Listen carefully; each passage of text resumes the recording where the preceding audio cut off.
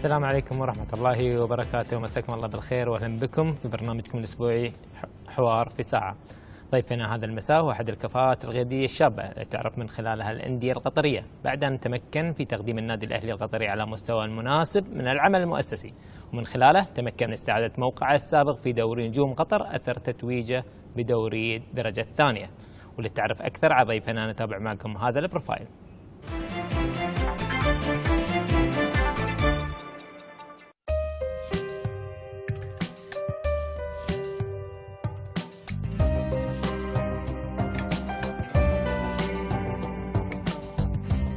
الشيخ أحمد بن حمد بن علي آل ثاني رئيس النادي الأهلي القطري حاصل على درجة الماجستير في إدارة الأعمال وهو أحد الكفاءات القيادية القطرية التي يشار إليها بالبنان لما استطاع الوصول إليها على مستوى ناديه الملقب بالعميد من عمل مؤسسي منظم.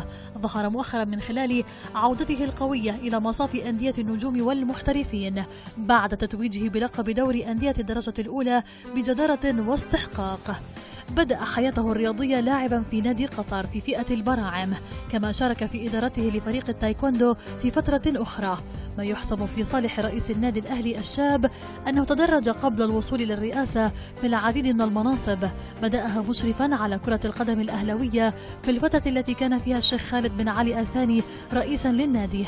انتقل وفي فترة أخرى للعمل كنائبا لرئيس جهاز الكرة وبعدها رئيسا للجهاز. وفي مرحلة أخرى عضوا في مجلس الإدارة. تلك الخبرات التراكمية شاركت أن يكون الشيخ أحمد بن حمد متسلحا بالعديد من المواقف والمشاهد والتي أثرت ما يملكه من خبرات سابقة وكفاءة قيادية وكان لها أبلغ الأثر في الوصول إلى حالة من الانسجام مع عناصر الأسرة الكروية في النادي الأهلي وصناع القرار في المؤسسة القطرية. وأكدت أن الرجل القيادي الشاب يتمتع بالعديد من الإمكانيات والمهارات. وأصبح النادي الأهلي الذي يقوده مقبلا على مرحلة مفصلية في تاريخه الجديد والذي يأمل من خلاله البقاء على سلم المحترفين قبل التركيز على تطلعات وآمال أخرى في المنافسة على مراكز المقدمة.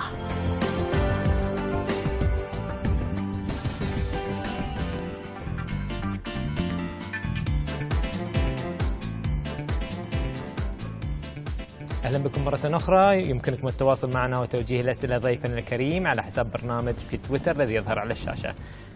سعد الشيخ أحمد بن حمد رئيس نادي الأهلي شكرا على قبول الدعوة وتواجدك معنا اليوم في هذا البرنامج. العفو شرفني في البداية أحب أشكرك على استضافتك لي في برنامجك وأحب أشكر المخرج عيسى الصليطي على مقدمة المقدمه اللي قدمها عني وعن النادي الأهلي. وهناك بعد فريق أعداد يعني محمد كلهم الأعداد والمصورين والموجودين في ناس يشتغلون وايد. الشيخ النادي الأهلي البعض يقول وجه انذار شديد اللهجة لأندية دوري النجوم بظهوره أكثر من ممتاز في المباراتين اللي حضرها مع سواء ويا الوكرة أو حتى مع قطر والخسارة اللي كانت نوعا ما ضربات ترجيحية. هل هذا بداية للموسم قوي للنادي الأهلي؟ شوف إحنا دائما يعني في كل موسم حتى أثناء هبوطنا. أنت لو تلاحظ أن يكون الأهلي في بداية المشوار يبدأ بطريقة تدريجية. قدمنا موسم صعب السنة في الدرجة الثانية. تخبر اسم الأهلي اسم كبير فالفرق للدرجة الثانية. إذا جات تلعب ضد الأهلي تلعب ب 100% من مستواها أو أكثر من 150 أنا أتوقع. فصادفنا موسم صعب.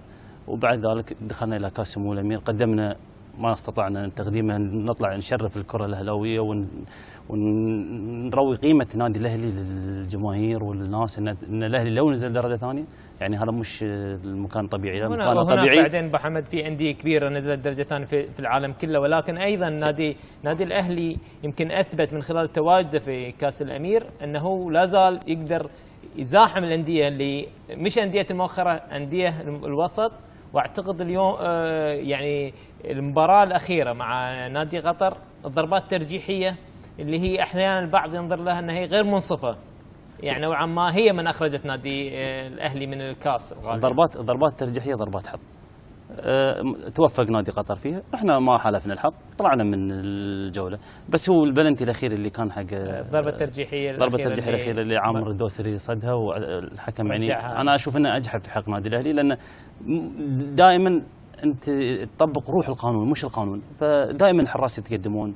وأتوقع على سبيل المثال حارس الغرافة من أكثر الحراس يتقدمون. قاسم برهان. ولا انعادت له ولا ركلة. آه، يعني يعتمد على شيء وهذا الشيء في الأخير يعني الحكم بشر يعني- إحنا لا أنا ما الوم أصلا اخطاء الأخطاء التحكيميه هي اللي تحل المباريات أنا بالنسبة لي بس أنا ما أشوف دائما الأخطاء على الأهلي مش يعني إحنا. يمكن شفنا يعني الإخوان الزملاء في المجلس بعد المباراة أثنوا على النادي الأهلي وأثنوا على ما قدم النادي الأهلي في المباراة والبعض رأى أن الأهلي يستحق أن يواصل في كأس الأمير.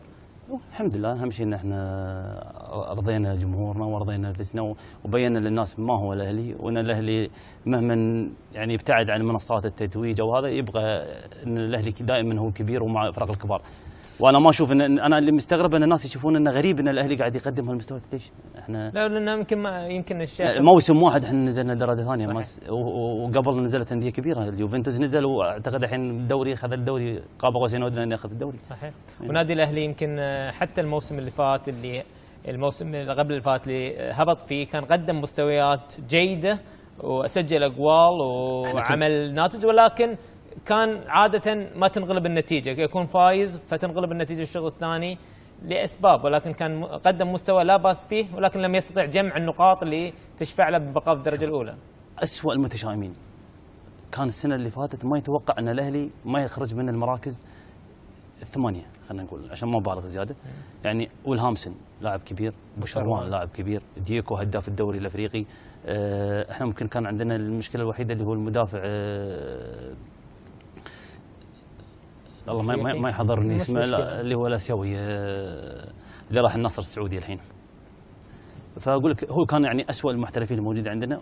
من واسبابه يمكن هو التدهور وضع الف- الف- الفريق في فترة من الفترات كان هو السبب. وبعد ذلك إحنا صابتنا في الموسم الموسم اللي راح بدينا يعني لعبنا ضد آه، الأخويا م- كن مباراة ضد العربي تعادلنا مع العربي لعبنا ضد الأخويا في بداية الموسم انهزمنا. بعدها لعبنا مع الريان فزنا عليه في الشوط الأول الشوط الثاني قلب النتيجة.